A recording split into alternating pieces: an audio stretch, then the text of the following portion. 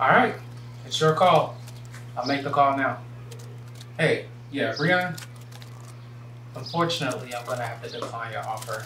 I hope you understand. You know, it, it would look weird with us running against each other and then doing business together. It could just be a bad look on both of us. Yeah. Yeah. Oh, no problem, man. Wish you the best. Good luck out there tonight. Alright. Bye.